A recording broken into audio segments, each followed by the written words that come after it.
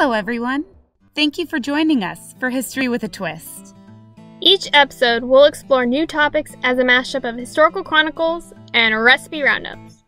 We hope to inspire you by sharing a collection of history highlights unique to Greater Jacksonville. You can also experiment with our featured cocktail recipes to get a taste of history for yourself.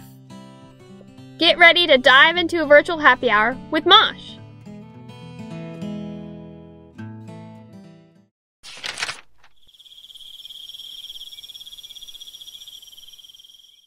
Hi there, I'm Elizabeth. Hey, I'm Caroline. Thank you so much for joining us for our first episode. We're so excited to share a little history of the Timucuans and local food history with you. And of course, a fresh cocktail recipe. Yes, of course, the cocktail recipe too. Can't forget that. Let's first delve into our local Native American history by discussing the Timucuans and the legend of the Three Sisters. Later, we'll share with you our recipe roundup of the week. So, where do we start? Well, the early Native Americans in Northeast Florida were called the Timucuans. Did they really call themselves Timucuans? We're not really sure. Actually, why don't I let anthropology professor Dr. Keith Ashley explain this to us better? Today, we refer to the native peoples of northern peninsular Florida and southeastern Georgia as the Timucua, but in reality, we don't know what they called themselves. The term Timucua does not represent a single unified tribe as much as it does a language with a variety of dialects. The dialect of Timucua spoken in the Jacksonville area was Mocama, an indigenous word meaning ocean or the sea. The Timucua living in villages along the lower St. Johns River and as far north as southeastern Georgia spoke the Mocama or maritime dialect of Timucua. For simplicity, we will be referring to them all as Timucuans. The Timucua culture was established 200 years before Europeans started messing things up.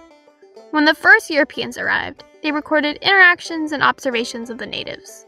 Granted, these accounts are super biased, but they are an important source of information about the natives' way of life. The Timucua people never had a written language and only passed things down through stories. The first record of the Timucua was collected by the French Huguenots in 1562 and then the Spanish a few years later. Now, a Spanish priest named Father Francisco Pareja provided insight into the healthcare, agricultural practices, and more from a written language he crafted for the Timucua people. It's not like they were asking for a better way to communicate, but Europeans during this time were pretty pushy. Many of his fellow priests did not speak Timucua, and this made it impossible to hear confessions from the converted Timucua Catholics. Father Pareja created a list of questions for the priest to ask during confessions, written in both Spanish and Timucua, known as the Confessionario. Historians are able to use this document to piece together a Timucua written language and therefore have a better understanding of the Timucua lifestyle, including their agricultural practices. Dr. Ashley helps explain their dietary habits a little more. The Mocama relied on nearby rivers, tidal creeks, and salt marshes for much of their food. Using traps, nets, and weirs, they caught many of the same fish that people catch today. Farming was a late addition to their diet, not occurring in our area until around AD 1450, which is only about 100 years prior to Jean Ribault stepping foot on Fort George Island in 1562. In their gardens, the Mocama planted corn, beans, squash, and pumpkin. The corn, beans, and squash were all grown together in a field and called the Three Sisters. These three crops supported each other, like. You get what we mean. The corn provides tall stalks for the beans to climb. The beans help provide nitrogen for the corn and squash, and the squash grows across the ground, protecting the moist soil with its large leaves. Together, these crops provide a well balanced diet, complete with healthy vitamins and minerals. So, why is this crop trinity even called Three Sisters? Well, there are many legends surrounding these crops in Native American cultures.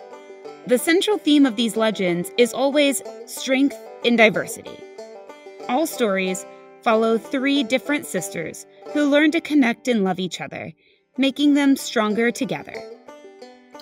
While we may never know the Timucuan's legend behind the Three Sisters, we know that this was an important method of food production for the native peoples who called the First Coast home hundreds of years ago. I don't know about you, but all this history is making me thirsty.